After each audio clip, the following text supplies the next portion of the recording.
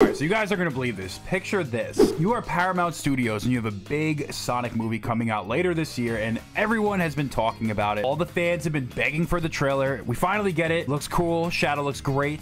But you do have one more movie to promote. That movie is none other than Transformers 1. You're Paramount and you're like, how many crazy Sonic fans can we get to show up to the new Transformers movie just to get a poster of Shadow the Hedgehog? It's not a bad idea. The cross promotion's pretty cool. I just found this to be hilarious. The first 300 Transformer 1 ticket holders per location on opening day will receive a limited edition printed shadow poster from Sonic Movie 3. In addition to that, Keanu Reeves, aka Shadow the Hedgehog himself, showed up to sign some posters as well. Maybe I'll also go to the movies. According to this Twitter user right here, we got an early look at the shadow poster and it looks great. So here it is. Tails Channel also posted it as well.